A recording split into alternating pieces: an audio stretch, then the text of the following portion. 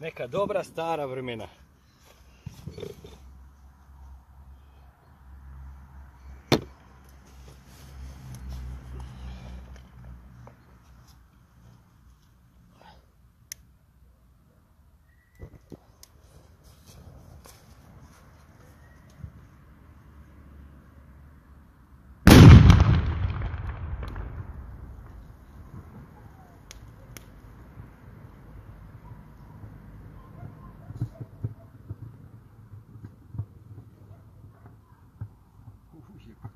Ovo je prejako. Pa ja